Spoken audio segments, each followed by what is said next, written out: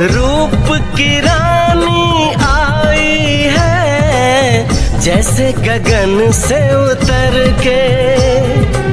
मेरे लिए, क्या मेरे लिए? ऐसे सज के संवर के। हाँ, सबसे छुपा के, इधर उधर से मुझको ही देखे।